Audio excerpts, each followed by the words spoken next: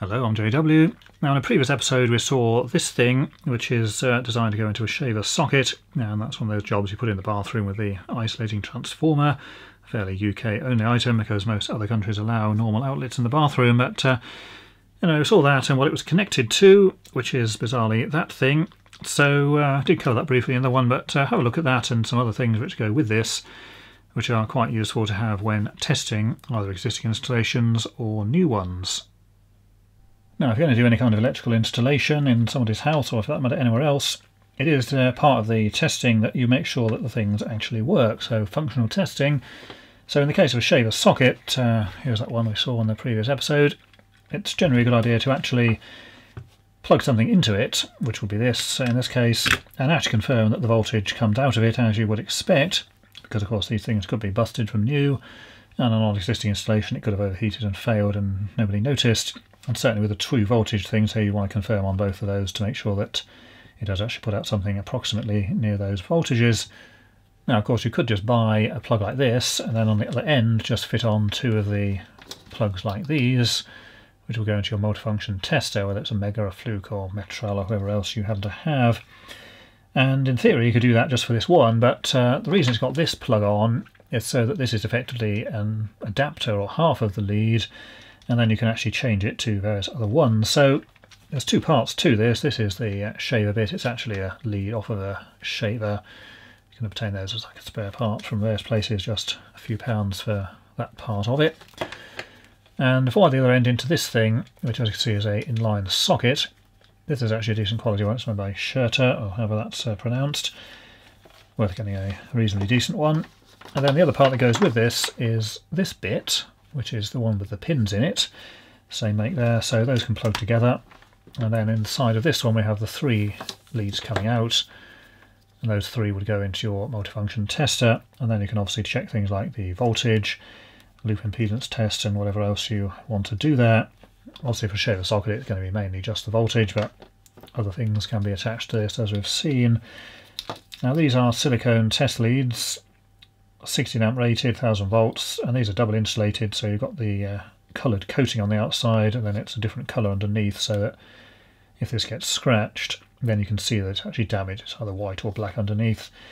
I'm not going to scratch it to find out, because obviously then it will be uh, destroyed, and those just go into this little plug. So whole idea is then that this goes in your multifunction tester, and then it gives you this, into which you can plug various things for various different outlets.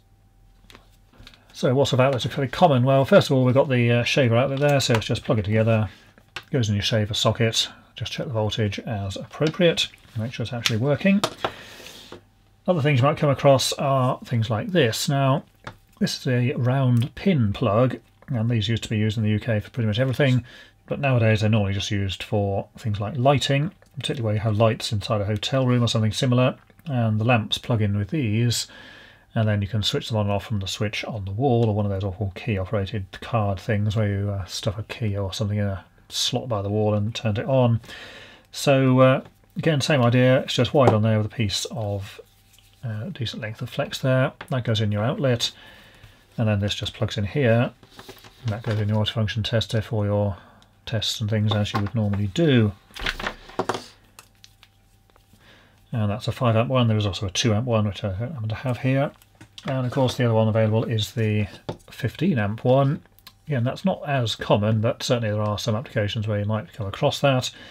Same idea, just plugs in there, plugs to that one, and then you can obviously uh, test as required with that. Now all of these, uh, I just made these up from various uh, bits and pieces. You, uh, I don't think you can actually buy these, but uh, fairly straightforward, just need to buy these leads. These are actually moulded on at this end just come with the bare flex ends, put your thing on the end of it, and then you just need a plug like that and some uh, appropriately coloured leads with the shrouded plugs and things on the end. So this one is just a normal socket outlet rather than the plug, and the reason for that is then once you've plugged it into here, you can then put, say, an appliance in there, and then you can sort of just do an appliance test on that to check that the earth is continuous and sort of high voltage insulation test between the uh, two pins here and this one. So again, just saves having to put the clips on the pin to the plug and sort of faff about with that. And then the other stuff we've got are these, which are the 16 amp round connectors. These are blue ones for 230. And again, precisely the same arrangement, just uh, plug it in there. That goes in the outlet on the wall.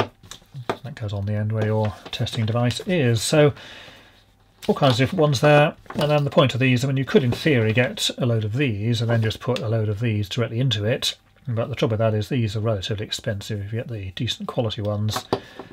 Stuff like this is much cheaper, so it's just sort of an adapter end, so a bit of a lower cost way of doing it. But you could, in theory, just get a load of these individually coloured leads and wire them all to those, but you'd have to put some sort of banding around here to form them into a single cable and all that, so not over practical. We do also have the yellow one, which is 110 volt uh, building site type of thing with a uh, 55 volts to earth arrangement, so two of those, same plug end of course, and then there's also the 32 amp versions, which again are somewhat larger, but again the same principle there and the same exact piece on the end. And there's several other things you could use. I mainly only do domestic work, so we don't generally uh, get involved with those, but there are things like the uh, Klik roses where they say lighting equipment just goes onto a round rose shaped piece, which then just plugs into a fitting in the ceiling, commonly used above suspended ceilings in shops and the like. So again, just get one of the plugs on here, stick it on there. That's obviously a an easy way to test things or whatever. And pretty much any other kind of uh, custom plug or fixture this thing then is just the adapter to your test equipment, and then the other thing just has that, and whatever plug or thing on the end of it is that you actually need. So fairly handy things to make up there, and say just make these up as and when needed. So this is a fairly uh, reasonable selection of stuff there, but uh, obviously just make them up for whatever purpose you happen to need. So that's it for this video. Until next time, thanks for watching.